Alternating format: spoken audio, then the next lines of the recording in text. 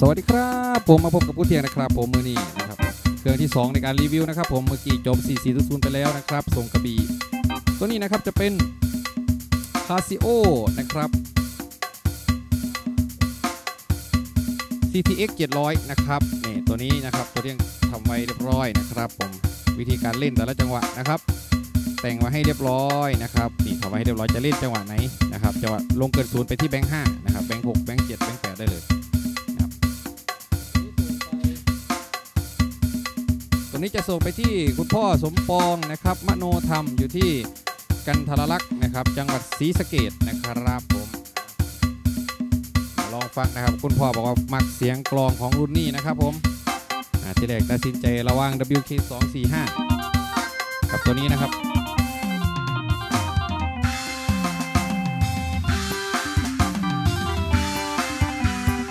ฟังกันครับ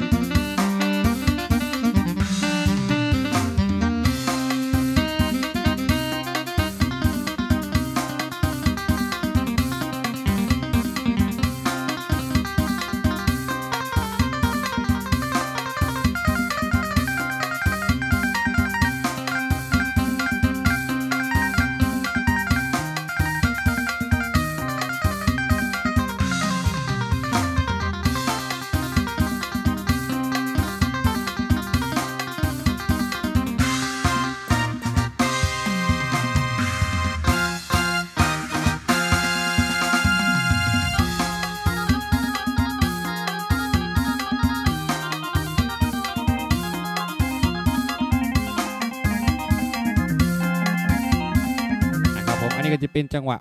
หมอลำนะครับผมอะวิธีการใส่นะครับ ผมอะเปิดเครื่องขึ้นมาไลท์แล้วเปิดเครื่องขึ้นมาเลยนะครับ เปิดเครื่องขึ้นมานะครับปุ๊บนี่นะตัวนี้หน้าจอสีขาวสวยงามนะครับคุณยังติดภาษาไทยให้เรียบร้อยนะครับปุ๊บอะขึ้นมาเนี่ยมันจะเป็นเสียงเปียโนเนาะนะครับให้เช็คให้เบิ่งครับเช็คริมนะครับ ทุกริมใช้งานได้นะครับ ตัวนี้สภาพสวยๆนะครับ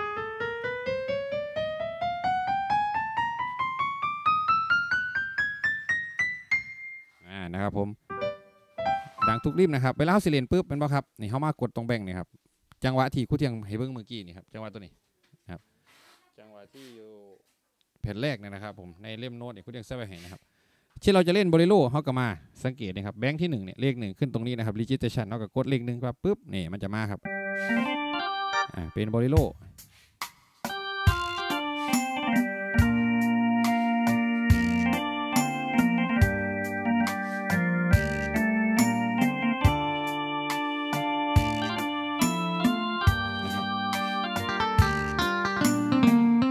แต่ละปุ่มก็จะเปลี่ยนจังหวะไปนะครับ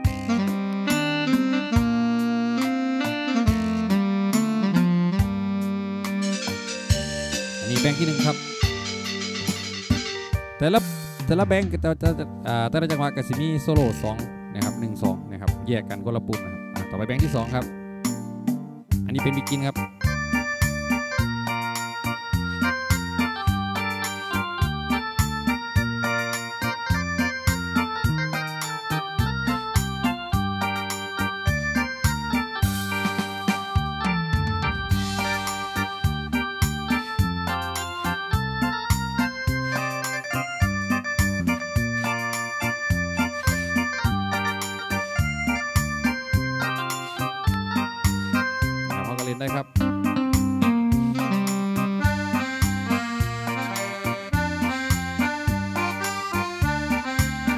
เรียนครับโซโลกองต่อไปแบงค์ที่ 3 ครับจังหวะลำวง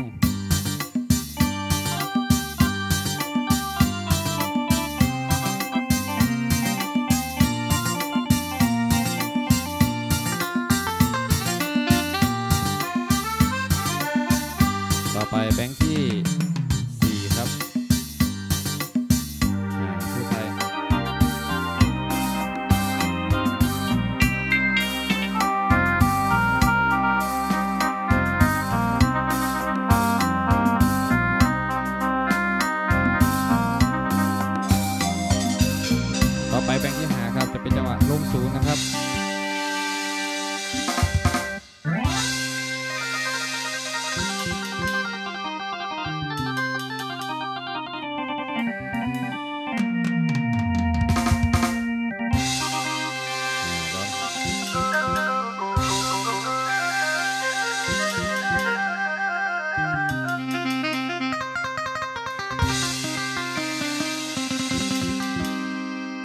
จังหวะที่ 5 นะครับ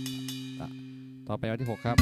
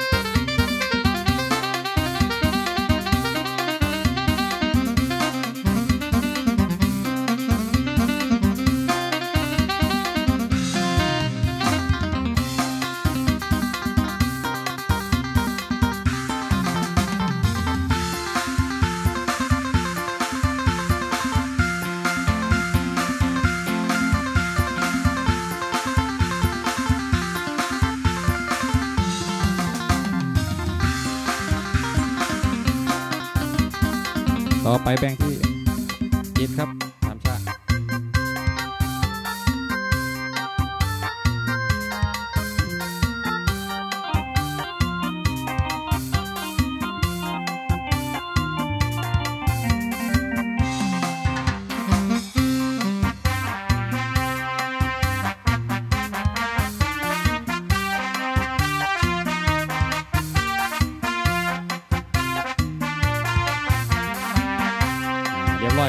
อยแบงค์สุดท้ายแบงค์ที่8ครับ